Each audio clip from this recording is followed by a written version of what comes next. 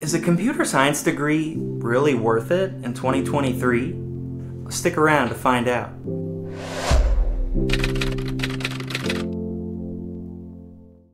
So unless you've been living under a rock, I think we're all aware now of the new advancements in AI. Um, we've heard in the news about all of the layoffs that a lot of these big tech companies are doing.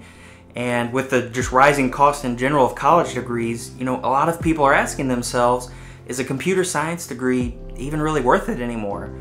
And I'm here to tell you that I think it is. And I'm going to go over today some of the reasons why I think it is still worth it and why you should still continue to pursue this. Now, when we're talking about AI, we're not talking about, you know, Skylink from Terminator or something like that. But there have been some pretty neat advancements in AI lately, and it's got a lot of people thinking that AI is going to replace a lot of software engineering jobs. What would you say you do here? And I'm here to tell you, I don't think that's going to happen. Even if you're in college right now for computer science, it's not going to happen in your lifetime.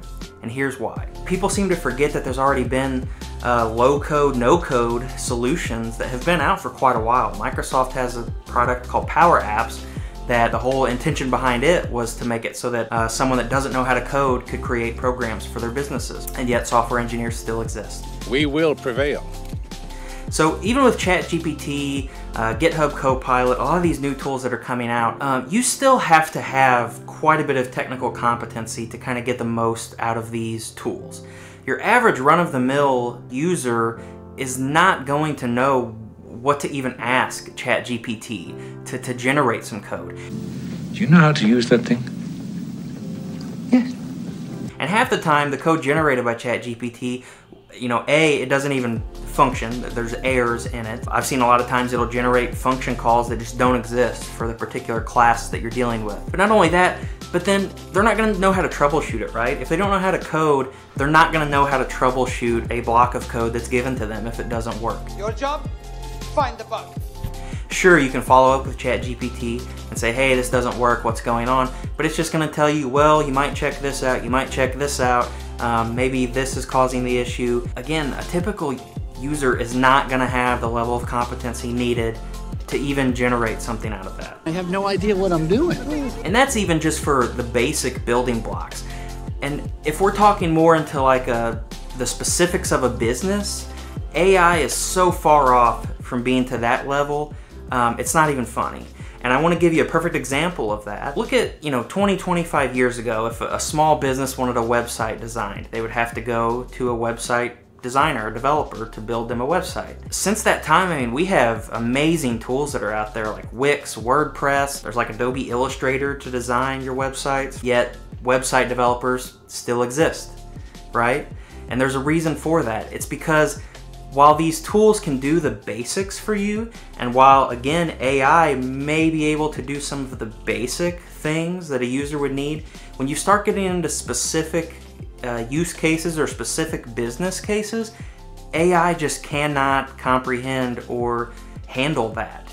Um, I mean, at my company, we have tons of internal written software that only my company knows about. AI doesn't even know it exists. If I try to prompt an AI to integrate, you know, a piece of this software that's written specifically for my company with some other third-party software, it's going to be like, what the heck is that? I don't even know what that program is.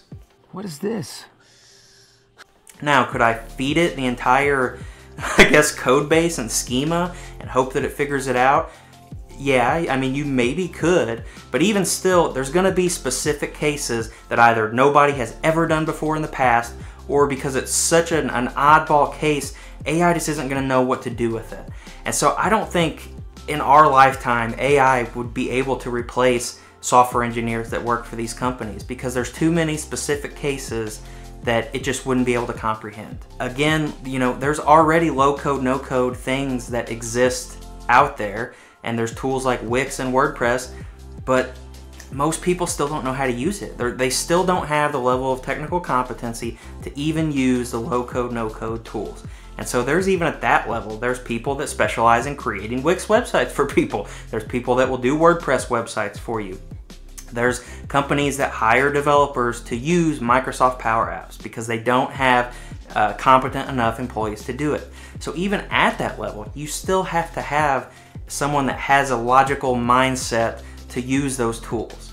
And so getting your computer science degree um, you don't just learn how to program, for one, it teaches you how to think logically and how to have sort of that engineering mindset that you need in a lot of your day to day work. I think it's still very crucial to have that skill set under your belt and it's going to allow you to expand in the future. And so, even if in the future, if these uh, these AIs or the low code, no code solutions become more prevalent, you're still going to have a leg up on most people. You're going to understand these tools easier. And I think at the end of the day, all it's going to do is just boost your productivity. You're going to be able to crank out a lot, uh, a lot more software for your company than we were in the past. I don't think software engineers are going to be extinct. I think they're going to be empowered even more. If we look at what we're able to do today compared to 30 years ago, it's going to be that same kind of trend. The tools that are going to be available to us to create new things are going to be amazing. Developers are going to be able to create really cool software and products for the companies or for uh, their clients, freelance, or for themselves, whatever the case may be.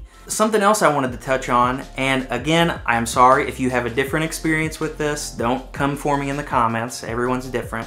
But in my personal experience, I've noticed a trend with these coding boot camps. Son, down, give me 25 push up now.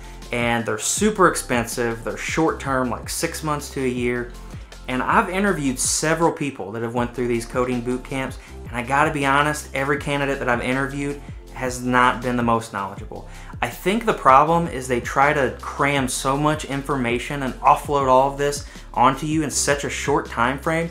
Um, your brain just can't fully process and store all of that knowledge. This is just too much to process. So if you've done a coding boot camp and it worked for you, you know, kudos, my hat's off to you. I've seen several YouTubers that have went through a coding boot camp and they've had very successful careers. But in my experience, I still think college is going to give you a leg up over a boot camp. For one, it's going to get you noticed more on your resume, and two, I think that the skills and the practicalities that it teaches you makes you interview better. It makes you a more well-rounded person. I think you're going to have a better success rate of getting a job with a CS degree versus a coding boot camp. Be 100% honest, I think if you're just completely against the college route, I think you're better off to pay for some online courses Take some time to teach yourself things, explore yourself on projects that you might have when it comes to programming, and teach yourself versus going to one of these boot camps. Something else that might help save you some money, and this might be a little controversial, but I personally, I went to a community college for two years before I finished off my bachelor's degree at a, a, full university. That's something that can save you a lot of money. There is, in my opinion, there's no need to go to a four-year school for all four years.